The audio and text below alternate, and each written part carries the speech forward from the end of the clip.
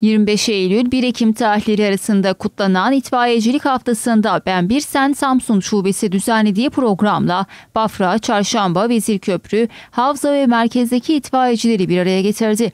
Programa Büyükşehir Belediyesi İtfaiye Daire Başkanı Rıza Zengin, Ben Bir Sen Şube Başkanı Nurettin Sever, Memur Sen Samsun İl Temsilcisi Necdet Güneysu, AK Parti Milletvekili adayı Orhan Kırcalı, iş yeri temsilcileri ve itfaiye görevlileri katıldı.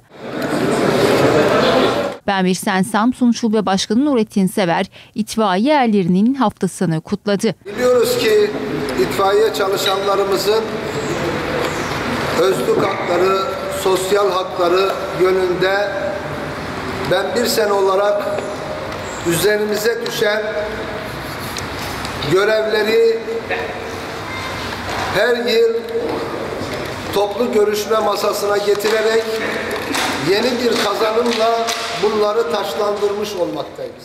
Memur Sen Samsun Şube Başkanı Necdet Güneysu da itfaiyeciliğin zorluğunu, iş yükünü, iş gücünü çok iyi biliyoruz, hissediyoruz ifadelerini kullandı. Bizler memur sen olarak 23 yıldır çalışanların ekonomik ve özlük haklarının mücadelesini yani alın terin, emeğin mücadelesini veren bir sendikayız. Samsun Büyükşehir Belediyesi İtfaiye Daire Başkanı Rıza Zengin, amaçlarının olası yangın kurtarma, deprem, trafik kazaları gibi olaylara en erken sürede müdahale etmek olduğunu söyledi. Biliyorsunuz 1 Nisan 2014'ten sonra Samsun şehir olarak tüm Samsun'u kapsayan e, bir e, duruma geldi büyük şehir olarak.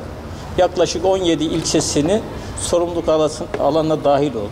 Bu kapsamda itfaiye hizmetleri de Büyükşehir'e devredilmiş oldu. Şu anda biz de Samsun İtfaiye Daire Başkanı olarak Samsun'u 5 bölge amirliği olarak yapılandırdık.